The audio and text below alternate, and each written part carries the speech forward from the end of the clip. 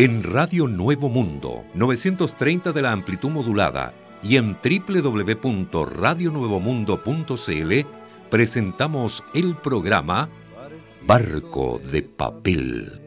Un espacio que aborda la literatura desde todas las esquinas del arte. Al timón, David Evia. Bienvenidas y bienvenidos.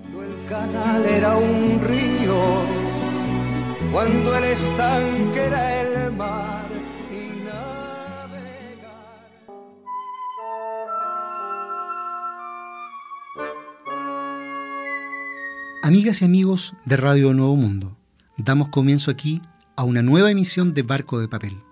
La ruta de hoy nos hará desembarcar en la vida y obra de Ernesto Cardenal. Recorreremos con una musa los textos de la Gaceta Leucade y pasaremos revista a la actualidad literaria. Me acompaña Alicia Ibarra. Buenos días, David. Eh, hace algunos días hemos tenido que lamentar precisamente la muerte eh, del destacado poeta nicaragüense Ernesto Cardenal. Nacido en Granada el 20 de enero de 1925, eh, fue, además de Bate, eh, un destacado sacerdote, teólogo, narrador, ensayista, traductor, político, eh, y eh, quiero agregar además el dato, un, un interesantísimo escultor, que es quizá la faceta menos conocida de él en Sudamérica.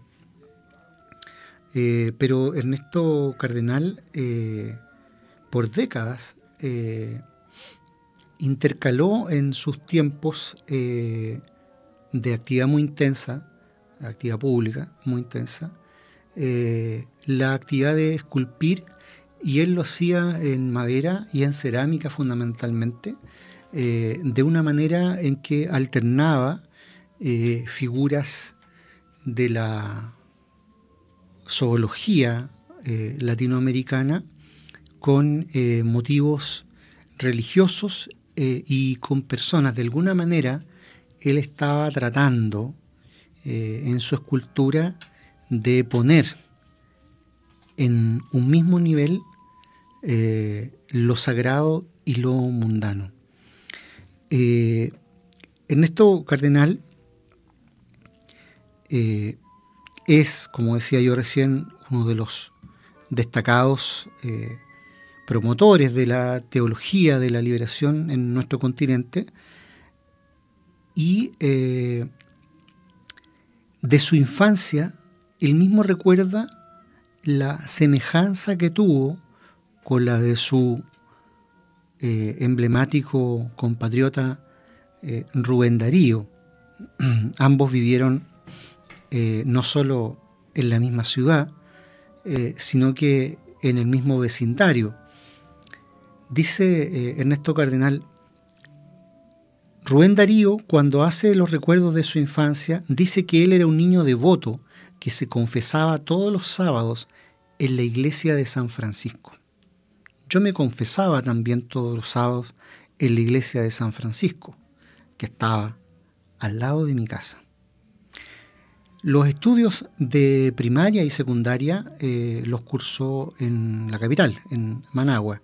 En el año 42 se trasladó a México, eh, donde eh, ingresó a estudiar en la UNAM, Filosofía y Letras, hasta el año 46. En 1947, en tanto, viajó a Nueva York, donde prosiguió sus estudios en la misma materia hasta el año 49. Y de ahí pasa durante dos años al viejo continente, particularmente a España, Suiza e Italia. En 1950 regresa a Nicaragua y aquí es donde ya empieza a adquirir eh, una cierta visibilidad en el escenario eh, político, porque él participó en la revolución de abril de 54, que es un intento de derrocamiento contra el dictador Anastasio Somoza. Eh, el golpe de Estado fracasó eh, y derivó en la matanza de varios de sus compañeros de filas, eh, desde luego el exilio para muchos de ellos.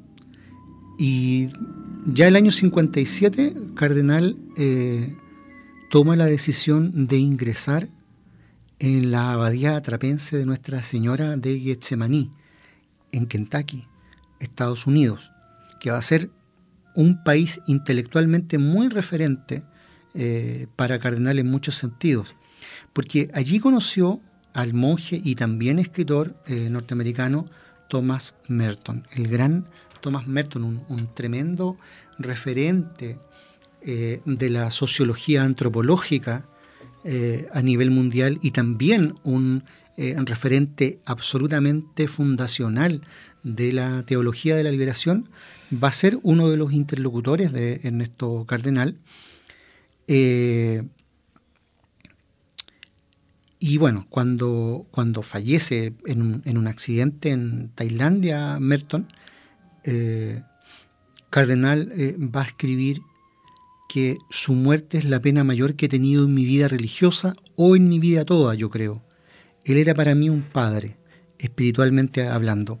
Yo hago mención de esto, Alicia, porque eh, quizá en ciertas claves cuesta entender eh, la entrada de Ernesto Cardenal al mundo religioso. Primero tiene una infancia muy vinculada a aquello, pero en la infancia y en la adolescencia de Ernesto Cardenal, en realidad eh, ir a la iglesia de San Francisco eh, era de alguna manera seguir los pasos de Rubén Darío. Hay un acto poético de alguna manera implicado en ese ritual. Y cuando fracasa eh, la asonada golpista que encabeza su grupo contra Anastasio Somoza, él se va a refugiar de nuevo en el mundo de la fe. Entonces ahí hay un, un sino que, lo persigue en distintos contextos. Y ocurre que cuando eh, Cardenal estaba en Estados Unidos, eh, conoció a Hope Portocarrero, eh, una muchacha que en ese tiempo se estaba graduando en la universidad, y que también era nicaragüense, de, miembro de la élite nicaragüense. ¿ah? la gente acomodada allí se formaba básicamente en Estados Unidos pero era pariente de los Somoza. Era pariente de los Somoza eh, y más tarde se casó con su primo Anastasio Somoza. Por lo tanto, se convirtió en la primera dama, como suelen llamar los machistas de este continente, digamos, a las esposas eh, de, los jefes de Estado, eh, cuando Somoza llegó al poder. Y claro, Cardenal recuerda entonces que a ella ahí eh, se le quitaron las ganas de seguir hablándole. No a él, sino que a ella, que conocía su prontuario guerrillero. ¿ah? El año 59, es decir, el mismo año en que estalla la revolución cubana, eh, Cardenal abandona el monasterio para estudiar teología en Cuernavaca, en México. Se ordena sacerdote en Managua el año 65 y funda una comunidad cristiana eh, en una de las islas del archipiélago de Solentiname, eh, en el Gran Lago de Nicaragua. Y ahí escribió el Evangelio de Solentiname eh, y fundó una comunidad de pescadores y artistas primitivistas que se hizo entonces mundialmente famosa. en ese tiempo, Rubén Darío pasaba meses completos en esas islas eh, leyendo las obras completas de Rubén Darío, por supuesto, entre otros, y escribiendo o bien dirigiendo la misa de la Semana Santa en la pequeña iglesia local. En 1971 viaja a Chile y desde entonces su nexo eh, con nuestro país va a ser eh, más o menos neurálgico. Eh, viene a Chile y se reúne con el presidente Salvador Allende. De hecho, hay registros fotográficos de aquello. Eh, y el día en que se reúnen, en 1971, es exactamente el día en que se conoce la noticia de que Pablo Neruda recibe el Premio Nobel de Literatura. Ese dato lo recuerda el propio Ernesto Cardenal, porque para él fue muy simbólico eh, el peso de ambos hechos, reunirse con Allende y, ver que Neruda era galardonado con el Premio Nobel, eh, que era en ese tiempo todavía algo bastante raro para un latinoamericano. Eh, y, Cardenal lo recuerda además porque él mismo admite haberse sentido muy influenciado por el estilo de Pablo Neruda y dice que le costó mucho zafar eh, de la lírica nerudiana eh, para buscar, digamos, un, riel un poco más propio. Eh, más tarde, mucho más tarde, se reúne en Chile con, la presidenta Michelle Bachelet, de cuyas manos recibe el premio iberoamericano Pablo Neruda precisamente. ¿ah? eso ya el año 2009.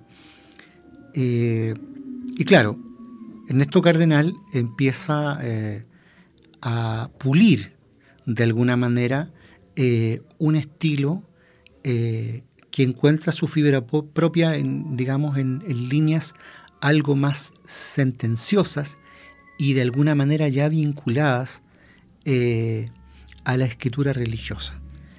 En Barco de Papel, por Radio Nuevo Mundo, escuchamos Epitafio para Joaquín Pasos, poema de Ernesto Cardenal, en la musicalización de Joan Manuel Serrat.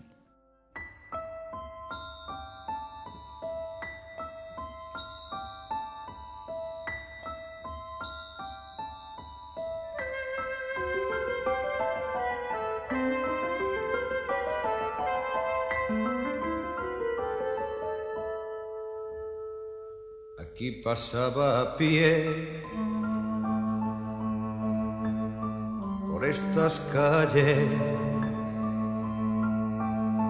sin empleo ni puesto y sin un peso, solo poetas, putas y picados conocieron sus versos. Nunca estuvo en el extranjero.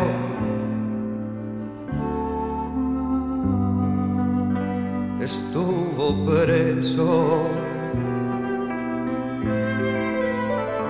ahora está muerto.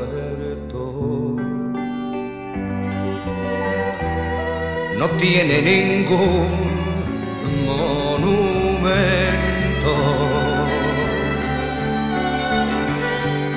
recordadle cuando tengáis puentes de concreto, grandes turbinas, tractores, plateados graneros, buenos gobiernos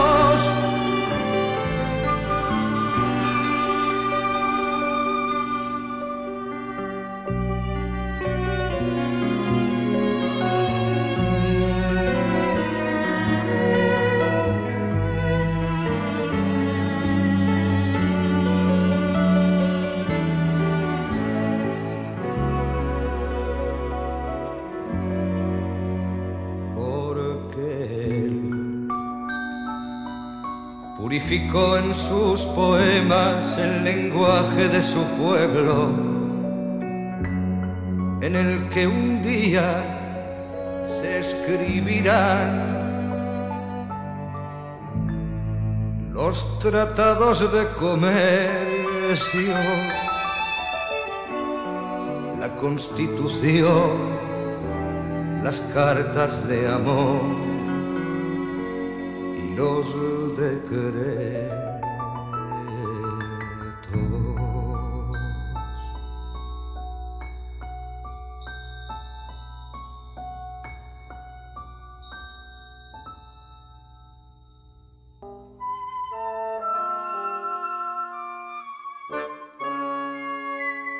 Escuchábamos epitafio para Joaquín Pasos, el poeta nicaragüense, como Ernesto Cardenal, a quien estamos dedicando este programa en Barco de Papel por Radio Nuevo Mundo.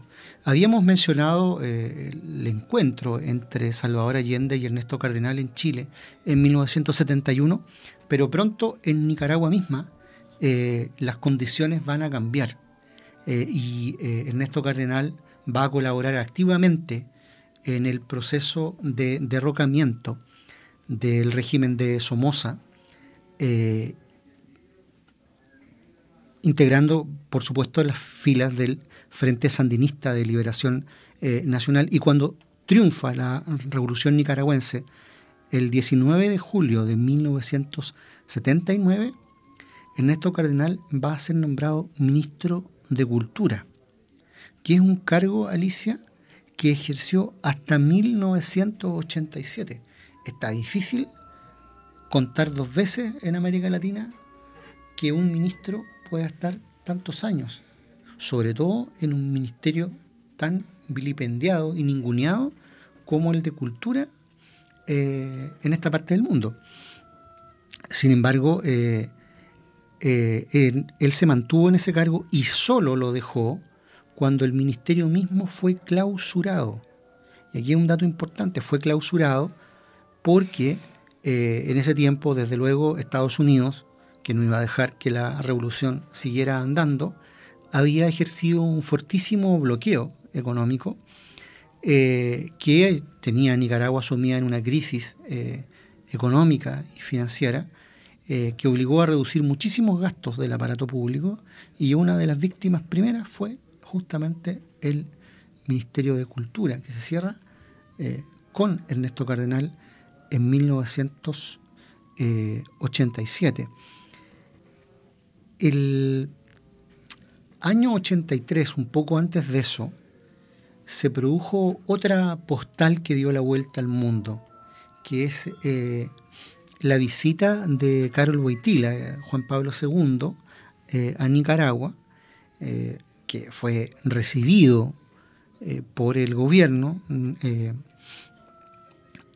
sandinista y que recibió a Ernesto Cardenal eh, quien eh, se presentó ante el Papa arrodillado.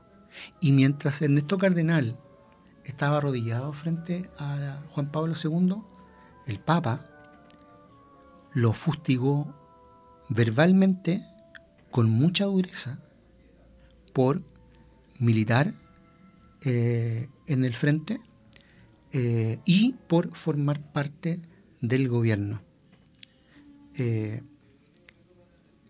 Al año siguiente, existe además la fotografía, por eso hablaba yo de postal, existe la fotografía de ese momento fortísimo en que, en que Juan Pablo II eh, hace mucho más explícita su condena al comunismo internacional, etc. Eh, y el año siguiente de esa recriminación pública, eh, el mismo Papa decide suspender a divinis el ejercicio sacerdotal de Ernesto Cardenal, de su hermano Fernando, que también lo era, eh, y de Miguel de Escoto y de Edgar Parrales, que eran los líderes de la teología de la liberación en Nicaragua. Eh, recién el año pasado, el año 2019, eh, el Papa Francisco notificó a Ernesto Cardenal de que esa condena pontificia le era suspendida, cuando ya Ernesto Cardenal estaba bastante enfermo. Eh, las polémicas, en todo caso, no solo vincularon a Cardenal eh, con la mano ultraconservadora de la Iglesia Católica, eh, sino que también se extendieron al propio Frente Sandinista de Liberación Nacional, que él abandonó el año 94 en protesta por lo que consideraba un abuso de poder eh, de parte de eh, Daniel Ortega. es más, Ernesto Cardenal denunció un giro hacia la derecha del Frente Sandinista eh, y eh, dio su apoyo al movimiento renovador sandinista en las elecciones del año 2006, además de otros intelectuales bastante destacados como Yoconda Belli y Sergio Ramírez Mercado. este distanciamiento, y más que distanciamiento, ruptura eh, con el sandinismo tradicional, con Ortega particularmente, le va a costar carísimo a Cardenal, eh, porque eh, el gobierno de Ortega no va a aceptar la crítica pública del poeta y va a reactivar un viejo juicio que ya estaba cerrado contra Cardenal por un empresario, un empresario alemán eh, se había querellado por injurias contra Ernesto Cardenal, supuestas injurias, según el abogado de Cardenal. Eh, pero ese caso que ya estaba cerrado, el gobierno lo reactiva, haciéndose parte activa contra Ernesto Cardenal. Eh, entonces se ordena su detención con Ernesto Cardenal absolutamente anciano, en medio del estupor mundial, y Ernesto Cardenal enfrenta desde entonces el arresto domiciliario. Si tú te vas, eh, Alicia, a las páginas de internet del episodio que estoy narrando, la mayoría están increíblemente bloqueadas. La mayoría. Pero eh, está el fallo judicial, está el registro, están las declaraciones del abogado, de las partes eh, y del propio Ernesto Cardenal, detenido en su casa por decir lo que pensaba? Eh, buena pregunta para un poeta. Claro, cuestión que le salió caro hasta incluso el día de su funeral, donde los, los, los que apoyaban el, régimen de Daniel Ortega fueron a gritarle traidor al frente de su propia tumba. Claro, esa fue un poco la, reacción que tuvo gente que se declaraba partidaria de Daniel Ortega eh, a pesar de lo cual, el gobierno de Daniel Ortega oficialmente eh, decretó duelo nacional, eh, lamentó el deceso del, del poeta, desde luego que tiene un reconocimiento mundial, y yo por eso simplemente hago hincapié en ese capítulo. No nos olvidemos de que la crítica fue perseguida.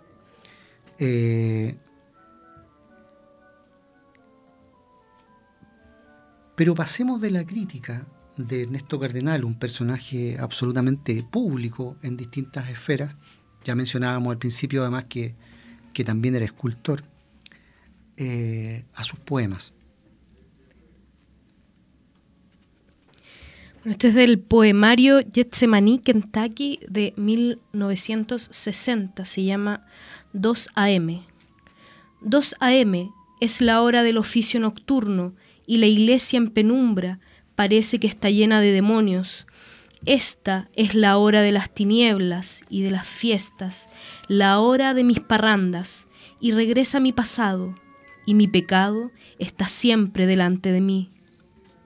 Y mientras recitamos los salmos, mis recuerdos interfieren el rezo como radios y como roconolas. Vuelven viejas escenas de cine, pesadillas, horas solas en hoteles, bailes, viajes, besos, bares, y surgen rostros olvidados, cosas siniestras.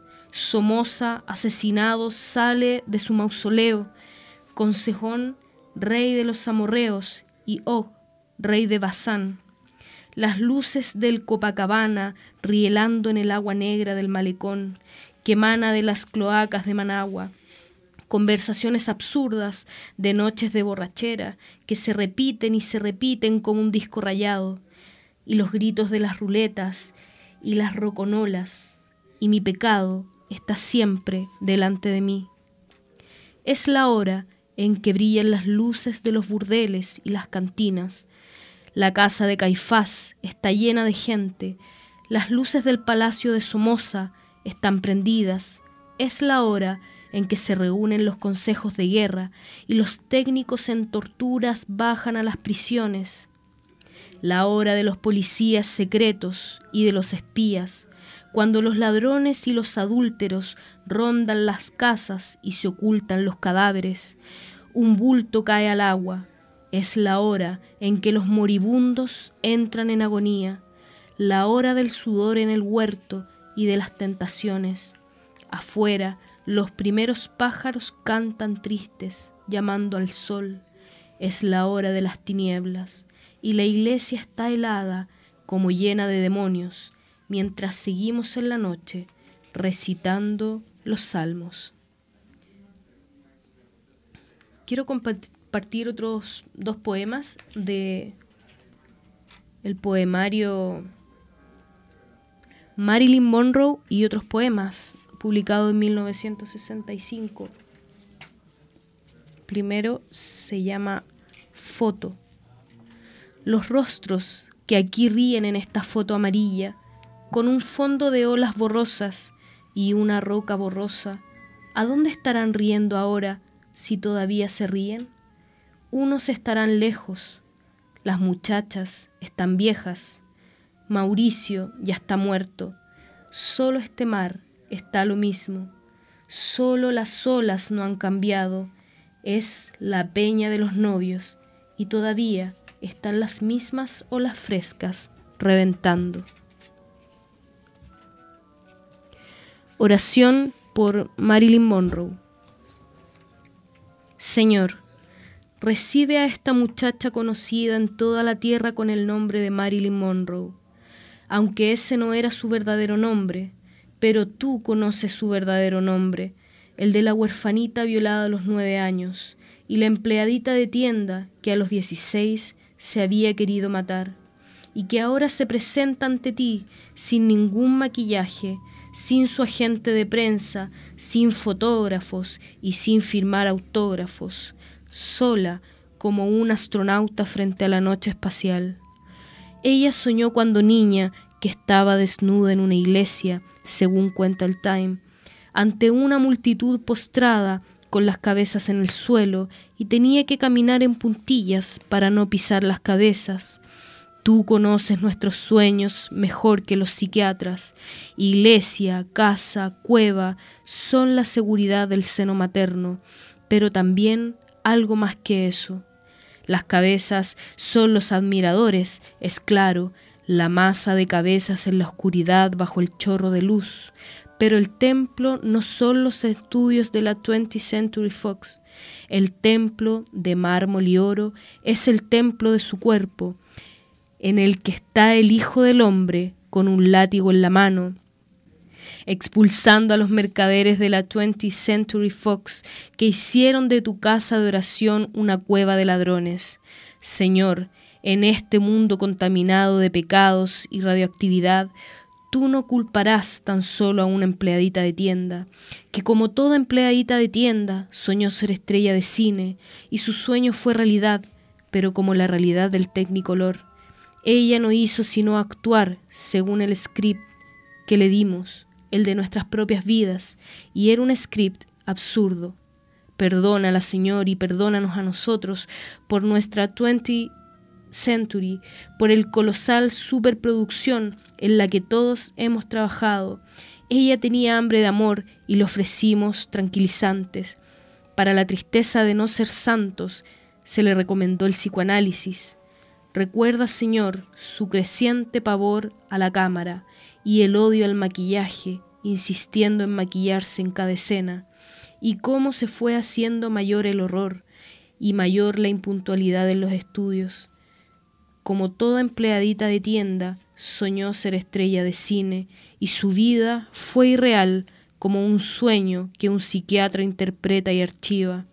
Sus romances fueron un beso con los ojos cerrados, que cuando se abren los ojos se descubre que fue bajo reflectores y apagan los reflectores, y desmontan las dos paredes del aposento era un set cinematográfico, mientras el director se aleja con su libreta porque la escena ya fue tomada.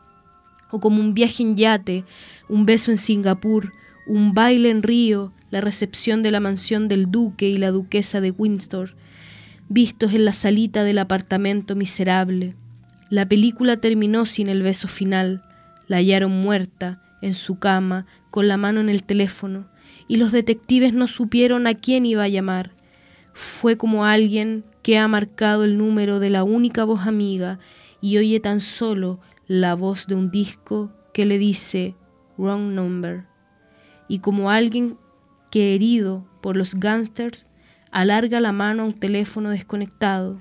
Señor, quien quiera que haya sido el que ella iba a llamar y no llamó, y tal vez no era nadie, o era alguien cuyo número no está en el directorio de Los Ángeles, contesta tú el teléfono. Con ese poema, Alicia, eh, a los 15 años decidí dedicarme a la poesía, precisamente con el impacto de ese poema.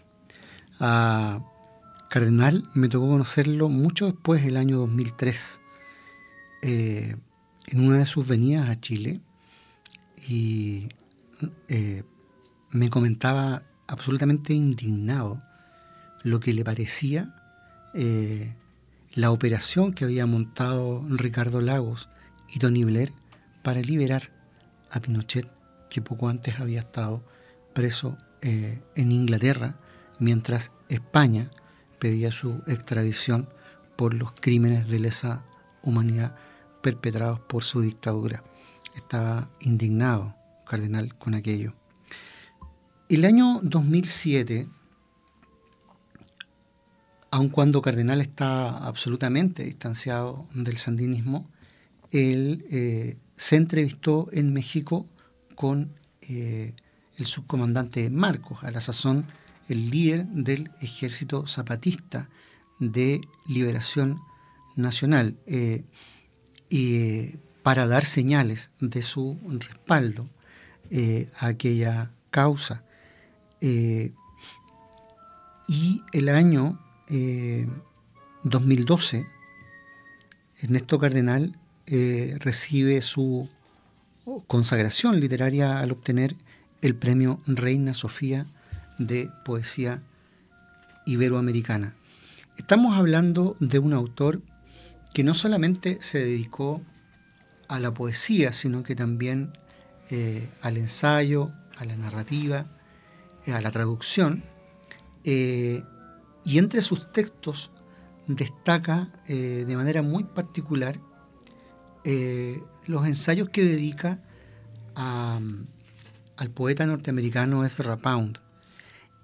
Y lo hace no solo para destacar eh, la calidad de su literatura, sino para denunciar cómo sus textos fueron utilizados por el discurso norteamericano eh, para, hacia los fines de la Segunda Guerra Mundial, eh, hacer una propaganda antinazi eh, implicando a Ezra Pound eh, en proselitismo pronazi. y Ezra Pound, el gran pecado que para Washington había cometido, además de la demencia que lo afectaba, era el de decir que no estaba de acuerdo con la guerra, que Estados Unidos estaba violando su propia constitución, eh, la de los padres fundadores de la independencia estadounidense, eh, al declararle a otros países la guerra. Ese tipo de declaraciones le costó carísimo, como Cardenal más de una vez, ¿verdad?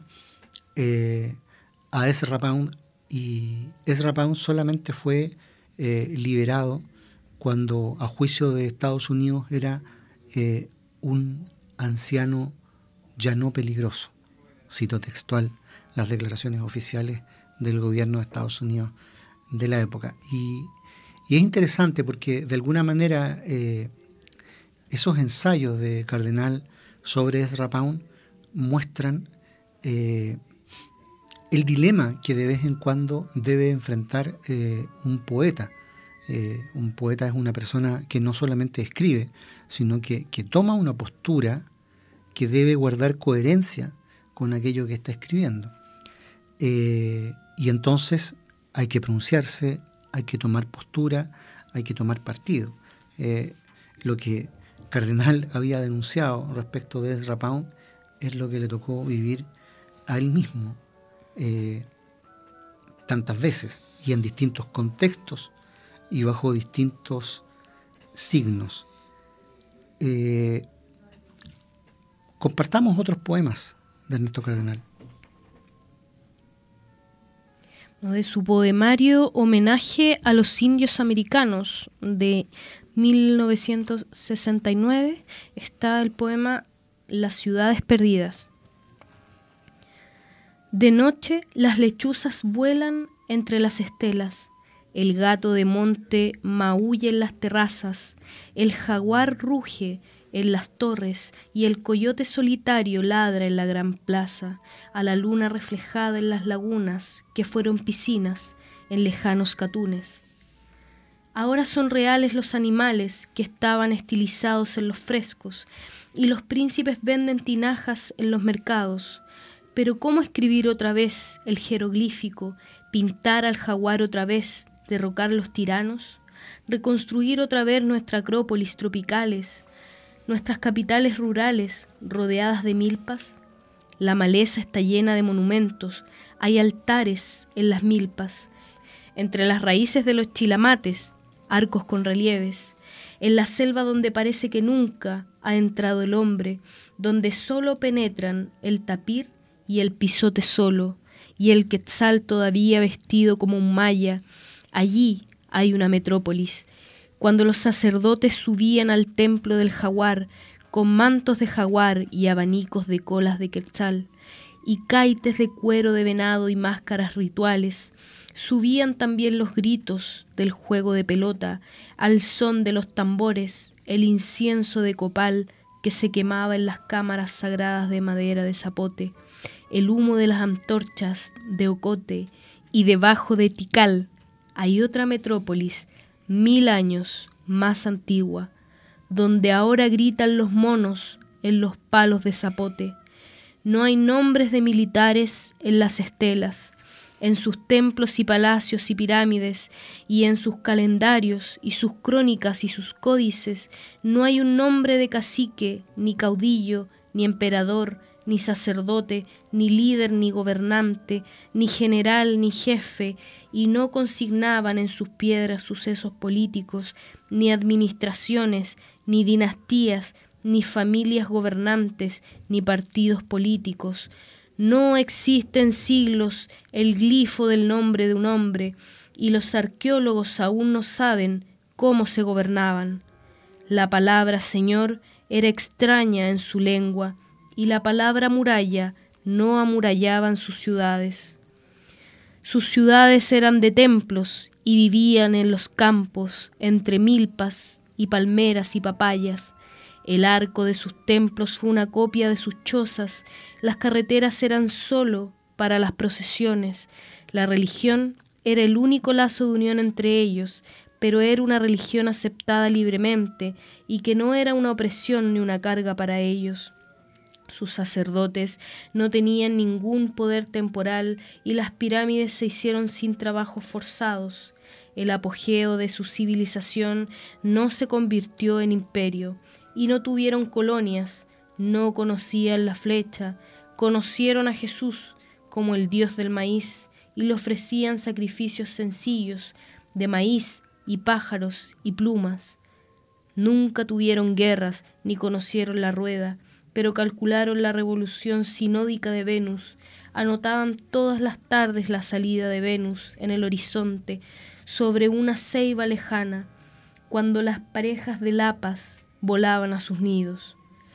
No tuvieron metalurgia, sus herramientas eran de piedras y tecnológicamente permanecieron en la edad de piedra, pero computaron fechas exactas que existieron hace 400 millones de años no tuvieron ciencias aplicadas, no eran prácticos, su progreso fue la religión, las artes, las matemáticas, la astronomía, no podía empezar. Adoraban el tiempo, ese misterioso fluir y fluir del tiempo. El tiempo era sagrado, los días eran dioses, pasado y futuro están confundidos en sus cantos. Contaban el pasado y el futuro con los mismos catunes, porque creían que el tiempo se repite, como veían repetirse las rotaciones de los astros, pero el tiempo que adoraban se paró de repente. Hay estelas que quedaron sin labrar, los bloques quedaron a medio cortar en las canteras, y allí están todavía. Ahora solo los chicleros, solitarios, cruzan por el petén, los vampiros anidan en los frisos de estuco, los chanchos de monte gruñen al anochecer, el jaguar ruge en las torres, las torres entre raíces, un coyote lejos en una plaza le ladra la luna y el avión de la Pan American vuela sobre las pirámides. Pero, ¿volverá algún día los pasados catunes?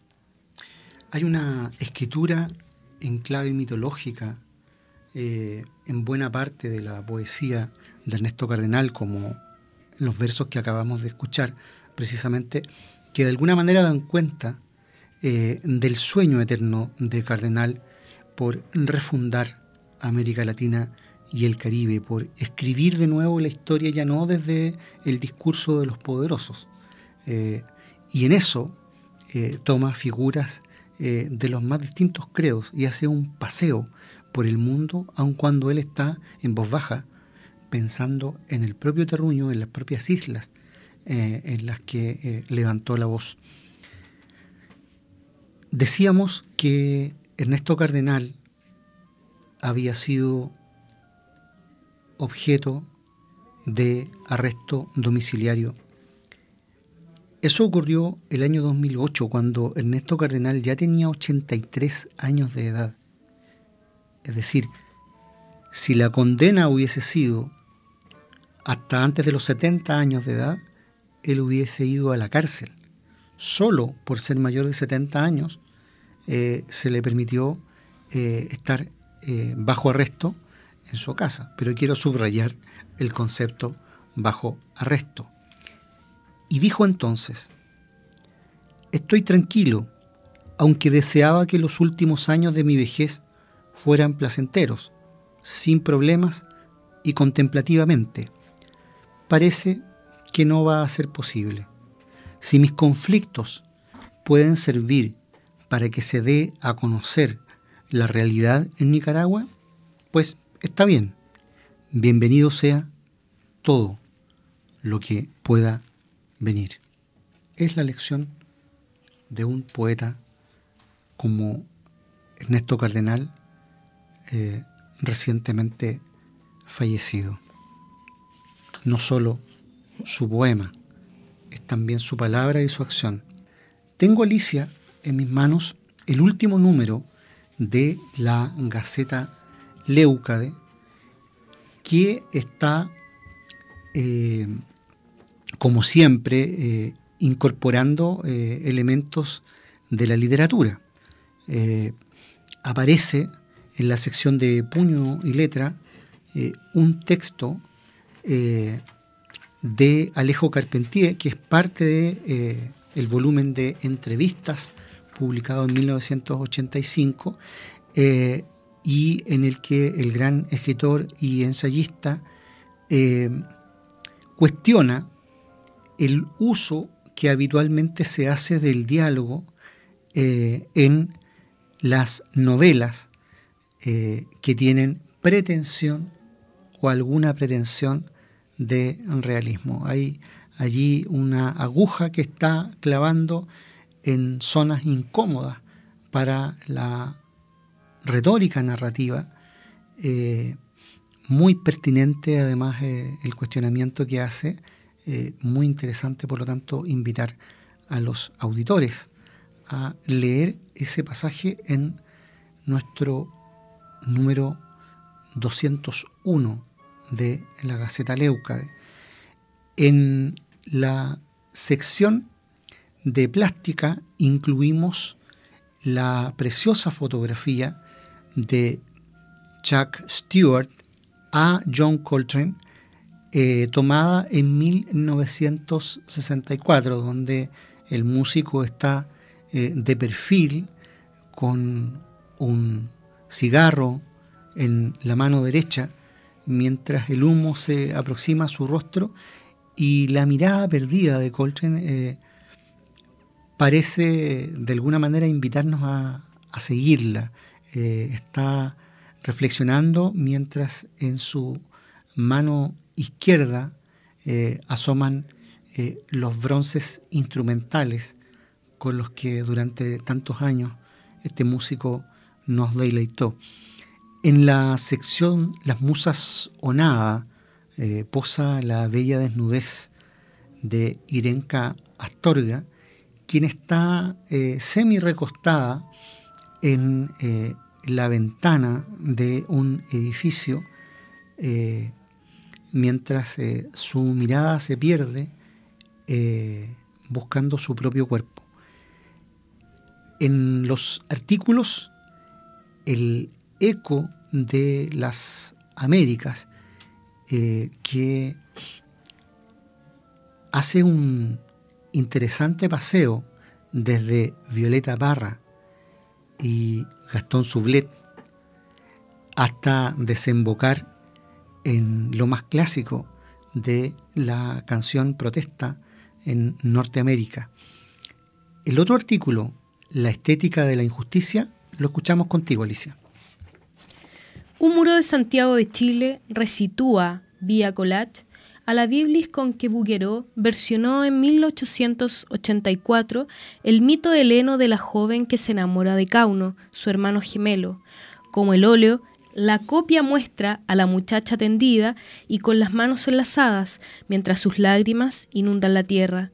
Pero la instalación realizada en medio del estallido social, en marcha desde octubre del 2019, completa la escena con cuatro agentes de la represión haciendo el gesto de intentar levantarla. La superposición lograda es notable, no solo por el calce armónico de las figuras, sino también por el paralelo que traza entre las tiernas lelégides, las ninfas que en vano trataron de sacar de su postración a la doncella, y la policía. Los tétricos funcionarios que rodean a la hija de Mileto son los mismos que persiguen al movimiento que hoy se alza contra un sistema que obliga a los ancianos a trabajar hasta la muerte. Y es que, en cuanto mecanismo de contención de las demandas, el discurso falaz exhibe mayor eficacia que el disparo de los uniformados, que actúa más bien como parche de las fisuras de aquella palabrería. A la retórica del régimen contribuye sobremanera el uso de adormecedores eufemismos. No hay ancianos trabajando, sino adultos mayores, y no existe represión, sino enfrentamientos. Cuando el capitalista siente amenazada su propiedad sobre los medios de producción, prefiere pagar más impuestos, generando la sensación de que el dinero, en cuanto tal, es la clave de la equidad. Se trata, pues, de la burda y convincente consigna que, encubriendo el revés de la trama, declara que gracias al explotador, el explotado tiene algo. Esa estética de la injusticia es vieja, aunque al menos antaño era defendida sin rodeos. Mi carácter natural hace que prefiera cometer una injusticia a soportar el desorden, escribe Goethe. El 25 de julio de 1793 en el cerco de Maguncia. El eslogan del intelectual pasa de expresión contingente a pretensión de máxima universal cuando redacta La formación y transformación de las naturalezas orgánicas de 1807. Cuanto más perfecta es una criatura, tanto más diferentes son entre sí las partes que la componen y viceversa, señala justo antes de precisar que tal desigualdad entre los componentes de un ser implica sujeción de unos respecto de otros.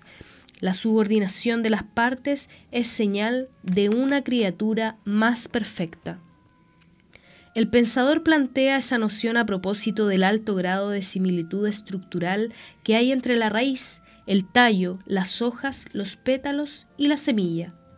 Claro está, el problema de la propuesta goetheana es que para considerar el caso de los vegetales como evidencia de que la igualdad de las partes indica imperfección, habría que aceptar su supuesto de que en cambio son los animales los que merodean la perfección, lo cual no entraña una constatación, sino un muy discutible punto de vista. En la versión de Ovidio sobre el mito, el autor introduce el nivel onírico como acto revelador del deseo de Biblis, quien lamenta que ese acceso carnal esté permitido a los dioses y prohibido a los mortales. Es la vigente metáfora del privilegio destinado al propietario y prohibido al expropiado. Y como sigue ocurriendo, unos huyen y otros luchan por realizar el sueño, temiendo por su vida, cada uno escapa y funda la ciudad homónima como su padre. Biblis persiste y su llanto se convierte en manantial, pero Bouguereau da un paso más y muestra a la joven con los ojos abiertos mirándose en el agua devenida espejo. Es la toma de conciencia, la posibilidad de llevar el sueño a la vigilia. En un mundo de apariencias, el collage del siglo XXI advierte con inteligencia que la actitud policial de recoger del suelo a la muchacha es, muy lejos de la gentileza, otro de sus tantos crímenes, el de querer dar muerte al deseo cuando despierta. La estética de la injusticia, artículo del número 201 de la Gaceta Leuca, que ya circula por Chile y el mundo en versiones impresa y electrónica. Tenemos, por supuesto, que eh, retomar nuestro habitual concurso eh, de libros y en esta oportunidad tenemos un volumen. Un volumen eh, que incluye los títulos Los Invasores y José de Egon Wolf. El destacado dramaturgo chileno, a propósito de lo cual tenemos que lamentar también el fallecimiento de Alejandro Sivekin, destacado dramaturgo, eh, hombre vinculado a las tablas desde el Teatro de la Universidad de Chile en adelante, eh, donde compartió aulas como estudiante eh, con Víctor Jara, autor de Ánimas de Día Claro, Casa de Remolienda y tantas otras obras absolutamente memorables.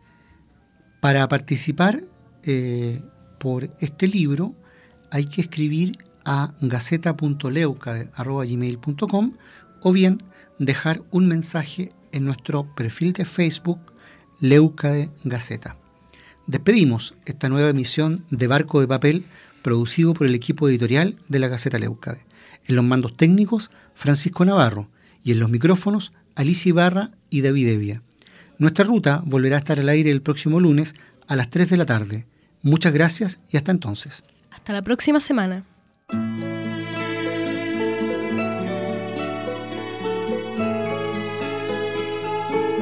En Radio Nuevo Mundo, 930 de la amplitud modulada y en www.radionuevomundo.cl finaliza el programa Barco de Papel, un espacio que aborda la literatura desde todas las esquinas del arte nos encontramos en una nueva edición. Hasta pronto. Donde la corriente